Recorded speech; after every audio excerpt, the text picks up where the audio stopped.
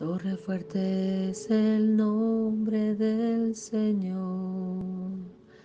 Torre fuerte es el nombre del Señor.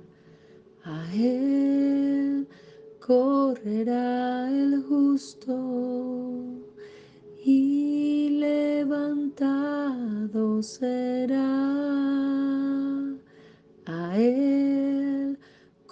correrá el justo y levantado será. Proverbios 18, 10. Él es nuestra torre fuerte. Él es nuestro gran Señor, bajo su cobertura y bajo su protección, bajo toda la protección que Él nos da. Descansa en el Señor este día, no se agite, Comencemos un día tranquilos, comencemos un día bajo su cobertura y bajo su protección, declarando que Él es el único que nos puede sostener y guiar en todo momento. Hoy es viernes, qué alegría, qué bendición. Espero que pasen un lindo fin de semana con la familia y disfruten cada momento como si no existiera otro.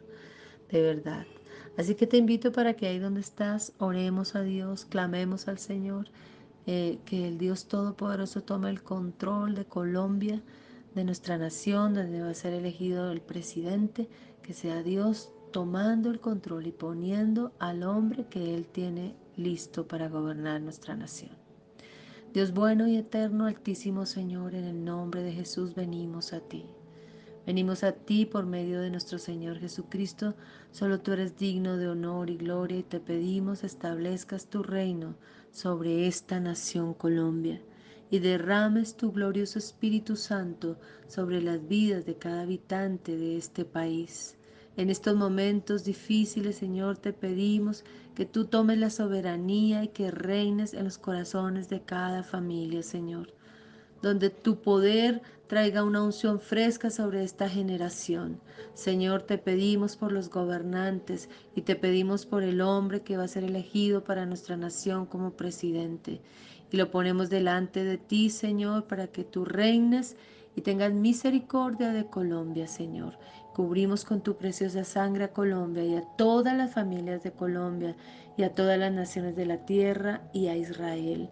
En el nombre de Jesús de Nazaret, Declaramos paz sobre Israel y paz sobre las naciones de la tierra, porque tú, Señor, eres el que traes la paz.